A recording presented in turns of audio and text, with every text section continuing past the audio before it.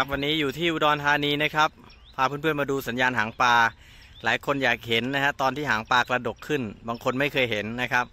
ตอนนี้ขบวน 415 เข้าสถานีอุดรธานีกำลังจะออกจากสถานีแล้วนะฮะแล้วก็หางปลา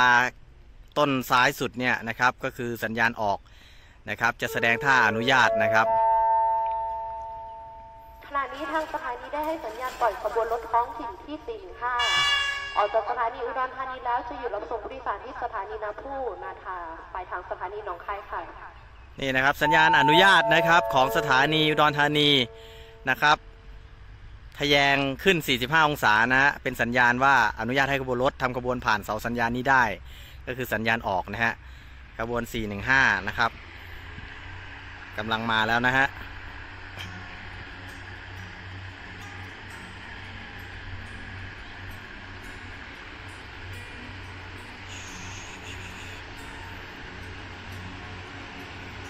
มาแล้วมาแล้ว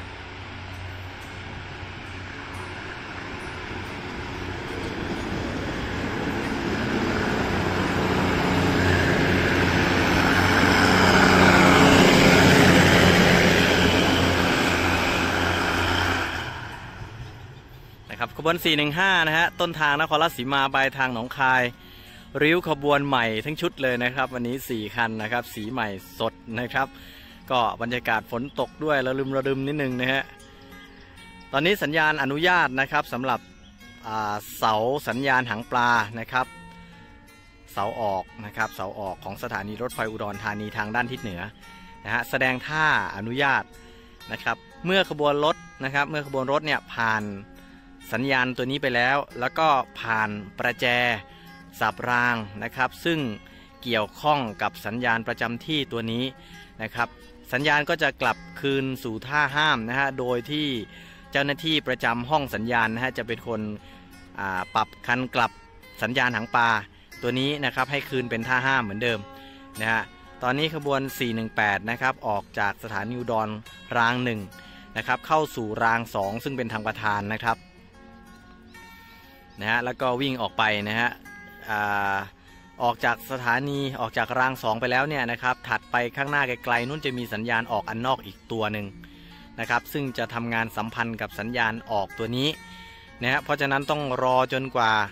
ขบวนรถจะพ้นสัญญาณออกอันนอกไปแล้วนะฮะถึงจะคืนท่าสัญญาณเป็นท่าห้ามได้นะครับเดี๋ยวเรามาดูกันนะครับว่าสัญญาณนะครับจะกลับเป็นท่าห้ามอีกครั้งหนึ่ง นะฮะเพื่อนๆบางท่านไม่เคยเห็นนะบอกว่าอยากให้ผมถ่ายให้ดูไม่เคยเห็นจริงๆนะว่ามันทำงานยังไงนะในต่างประเทศนะหลาย ๆ ประเทศก็ใช้เทคโนโลยีแบบนี้นะครับหลังๆมาเริ่มจะเปลี่ยนเป็นไฟสีแล้วนะฮะสำหรับของบ้านเราเองก็เหมือนกันนะก็เริ่มจะเปลี่ยนแปลงไปตามเทคโนโลยีเรื่องของระบบการสื่อสารนะฮะตอนนี้นะครับ ขบวน 418 นะครับ น่าจะผ่านสัญญาณออกอันนอกไปแล้วนะครับ อีกสักพักหนึ่งนะฮะ เดี๋ยวเจ้าหน้าที่เขาก็จะคืนเสาสัญญาณนะครับ เป็นท่าห้ามเหมือนเดิมนะฮะ รอดูนะครับ